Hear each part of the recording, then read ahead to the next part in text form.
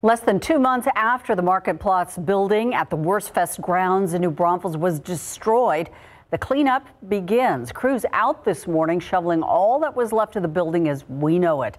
That building went up in flames on November 15th, just days after the 59th annual Wurstfest wrapped up.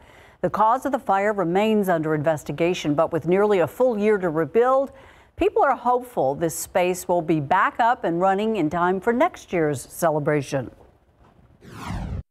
Not the first time that happened. I think was uh, after the uh, 86 flood. They had uh, they had I think 13 weeks to rebuild it, and they got going. Better than ever. Was back by, they'll get going and be back better than ever. And I can hardly wait. The 60th annual Wurstfest will commemorate the 175th anniversary of the founding of New Braunfels. It kicks off November 6th.